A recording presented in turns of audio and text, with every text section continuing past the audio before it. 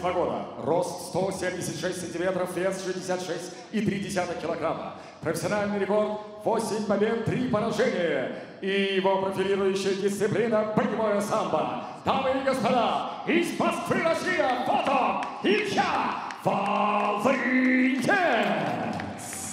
Его зовут красного углу клетки.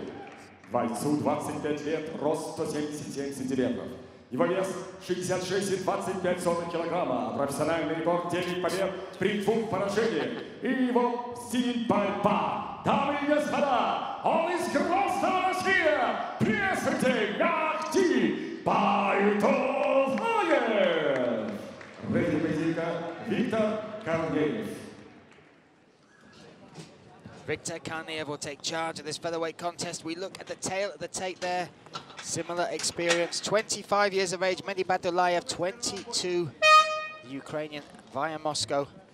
Ilya Volynets, Volynets in the blue corner, Mehdi Baydulaev in the red with the gold shorts.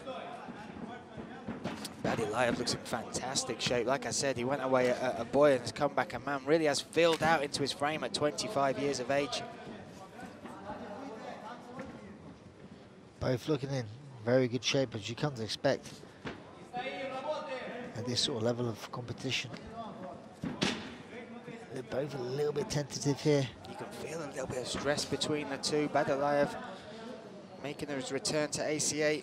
Volynets making his debut. Oh, look at the shot from outside. That looked like it was far too far away to uh, to go in, especially with no setup, but Baydulaev makes it work. No, that was a beautiful, shot. I mean, like I say, it was a far out, but he managed to, he's one of the people who got a grip of him, uh, and then like, you feel look at this sort of strength there. Oh. Belly to belly suplex, which is a very hard move to do, made it look effortless. Shows a sort of strength from him. And we often talk about the, the skill sets from certain regions and that Chechen background, the wrestling that is uh, just second nature to their young men, their athletes. When you look at that sort of move there, you, you think about a lot of power, but it is does take a lot of power, but there's so much technique involved. It's such a high level move. To land it also, not only just land it, to land it with a bit, bit of control, because one sometimes it's such a big takedown, it creates a little bit of space, but he did a great job just to hold on to Ilya. Now he's got pressed up against the cage here. Yeah, using pressure right in front of his corner there as well. Yeah, again, doing the same sort of thing when he's opted to go into the guards. He's try to go over. the back. This is how he does it. He sets this up beautifully. That arm is under the armpit, so he's, he's got the grip there. Is that, can you finish it from there, Brad? I can't really see this angle. Because he's at his left hand is under the armpit, so he's squeezing on that, but unless it's a, a, a bone, what do you call it? The uh, the No, bone going across the neck. There's quite a bit of space. I can't really see that angle. Yeah. not- yeah, he's no giving panic. thumbs up as well.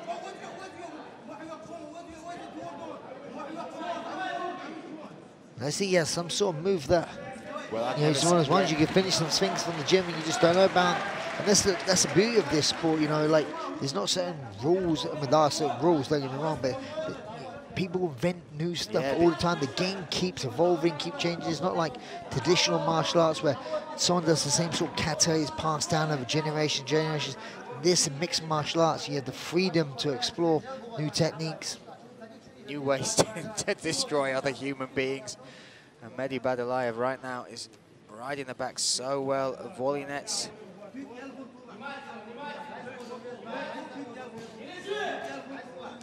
Short shots, a little warning by the back of the head there from Victor Karniev. Yeah, he's got he's got his back, but he's also got body triangle, so it's very hard to get sh shook off.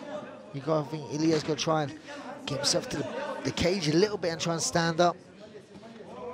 The moment he's just defending, it's not really devastating strikes where you- you're gonna get TKO'd or anything, but it's just the strikes where you Oh. get here to try and set up this naked choke. That's right around the face, but you can see he's got purposely got one sort of squeeze that can actually break your jaw. To be honest.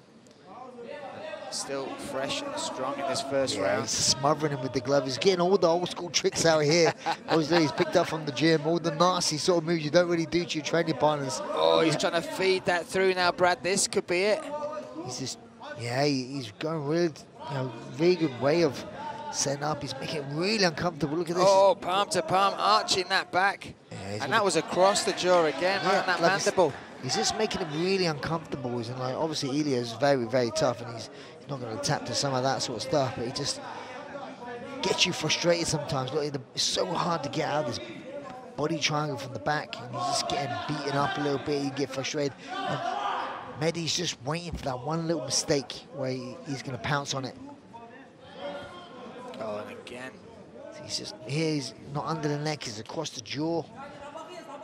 Just, like I say, making it comfortable. But the only thing, and Mehdi's got to be careful out there. He doesn't burn his arms out.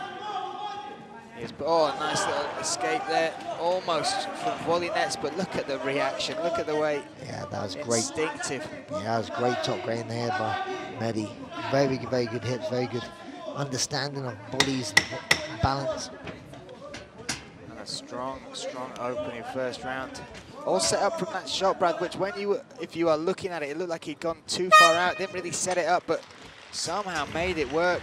But you kind of see, see from these sort of these sort of styles and fights from fighters from Grozny, they just need to get a piece of something, uh, and you, it's hard to explain it. But when you feel feel it, you're like, that's not very good. Sure, you're looking back at the action here. This is the beautiful belly-to-belly suplex. And look, I just noticed it there when he'd done it. He actually had the Dagestani handcuff as well at the same time.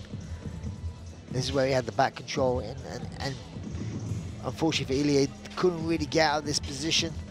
He needed it for one split second where then he ended up getting mounted. It's a very, very dominant round. Could possibly say a 10-8 as well if there was a little bit more damage. But this is it. Now we're going into round number two. How is Mehdi's arms after trying to do those sort of chokes?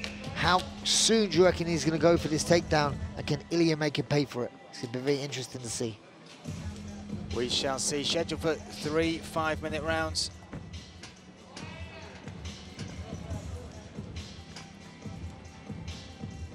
Round, round two. Off we go. Mehdi Baydulaev in the red corner. We got Yeah. Ilya Volynets in the blue. Let's see how long it takes Mehdi Baydulaev to shoot. I honestly don't think that long. There you go. Whoa! But Ilya was very ready, ready for it and spooled really well. But you just, like you say, it comes to that sort of chain wrestling where he gets pulled down, he manages to still get hold of him, push him to the cage, get to the back, and now he's here, he's going to pull him down. Good whizzer. It's a very good wrestling exchange from both young men. Oh, look at that, just staying But you can see the urgency from Volynets. He knows he cannot give up that position again. Yeah, he doesn't want to get down to the mat.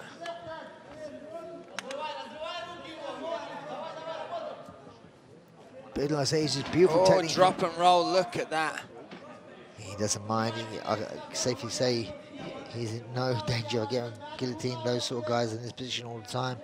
Don't mind giving up their neck. Again, you talked about it, the, the technique, the awareness. Such high level grappling coming out of Grozny. All those Caucasus regions. Oh, look at the way he took the back there, slick, a bit high up. He is very high. This is the thing. that Ilya, Ilya's one of those ones. He's got. He's doing the right things. He, has got to keep moving. But sometimes when you jump out the fire, out the frying pan, so you land it straight into the fire, which he's done here. But he's doing the right things. So he, he can't stay there. But now he's in this back position where he wasn't for a long, long time within that round. He's got to realise in a three-round fight, he can't let another round slip. But doing that is going to definitely create a bit more spaces and opportunities to maybe get submitted. Oh, Mehdi now again. Look at the arch on the back here. It's a lot deeper. I can't really see from his position. That's under now. That's under the chin. Look That's at that it. Ilya That's it. Trying to survive. Mehdi Baydulaev looking for the finish here. He, not could go out. he could go out. He's out. He's tapping. He's out. Wow. Mehdi Baydulaev, round two, takes the back again. This time gets it done with the rear naked choke. That is an impressive performance for that young man. With his second bite of the cherry here, getting the hit back at the ACA. Did not let it slip, and that's you say, was, he didn't tap. He was out. Stunning finish. And you said all they have to do is get a bite of you in those wrestling realms.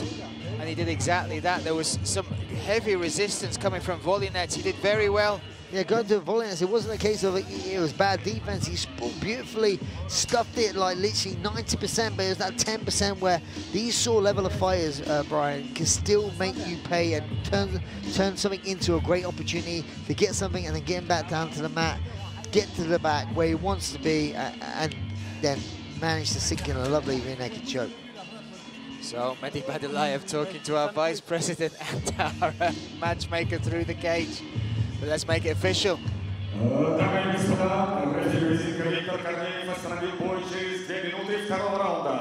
Удушающий прямо одержал Байтон!